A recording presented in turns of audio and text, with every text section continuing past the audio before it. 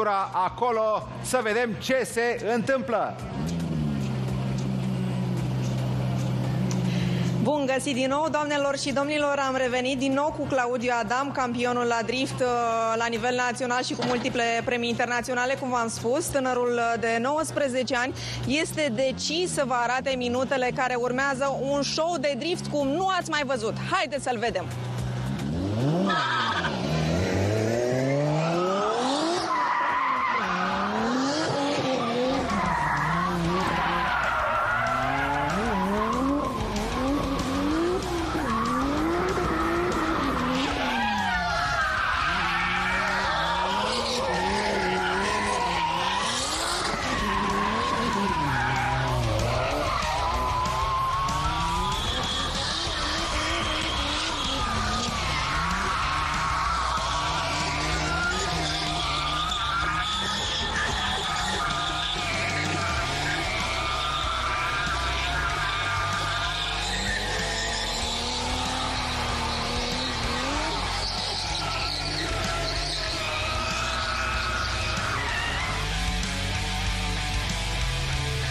foarte frumos momentul. Iată că în- acum coboară și Claudiu, un tânăr foarte curajos. Felicitări, Claudiu! Bună ziua, vă mulțumesc. Cum a fost? A fost foarte bine, am amețit puțin, sincer să fiu, dar sper că n-ați avut nicio frică. Vreau să te felicit pentru că m-a invitat, vreau să vă spun, doamnelor și domnilor, că m-a invitat în dreapta lui și eu n-am avut curaj să mă urc. Am zis că mai bine prefer să stau pe scaun să-l admir. Așa este, dar după live trebuie să veniți să vă dau o tură. Cu siguranță, cât muncești pentru pasiunea ta, cât de greu ți-a fost? Este foarte greu, v-am mai spus mai devreme că este foarte greu că nu avem sponsori, dar uh, în schimb eu mă antrenez acasă pe simulatorul meu cam 2-3 ore minim pe zi. Ai o mașină foarte frumoasă, ca o bijuterie, am spus eu. Uh, știu că la ultimul, uh, ultima competiție de la Ungaria ai accidentat-o, ai investit în ea, aripa, care aripa? Dreapta, st- stânga? Cea de pe dreapta s-a reparat, este totul bine acum și da, aștept să vină următoarea competiție. Dar cum s-a întâmplat? Uh, îmi povesteai tu că este o, co- o concurență acerbă între voi, nu? Da, așa este. L-am, m-a lovit chiar un coleg din România și a făcut show atunci când m-a lovit. A fost uh, o experiență foarte tare.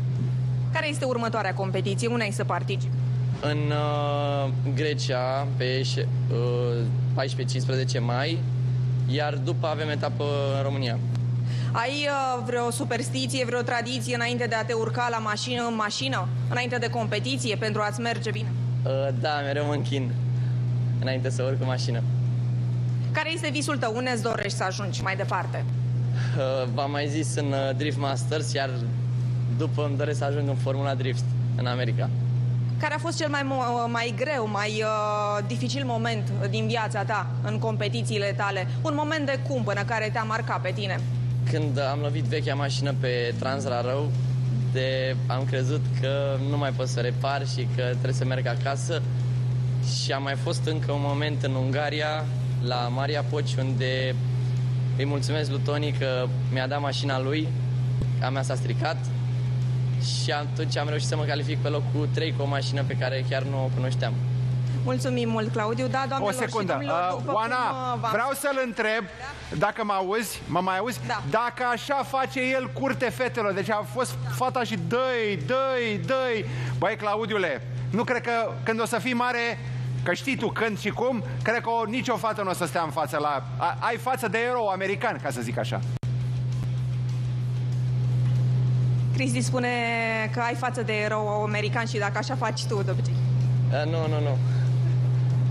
Câteodată, da. De unde am... Da. Uh, mulțumim foarte Uh, mult, Pe lângă Oana. asta, Cristi m-a întrebat dacă așa faci tu... A, Da? Da, da, da, hai spune întrebarea până la capăt, dacă așa face cu fetele.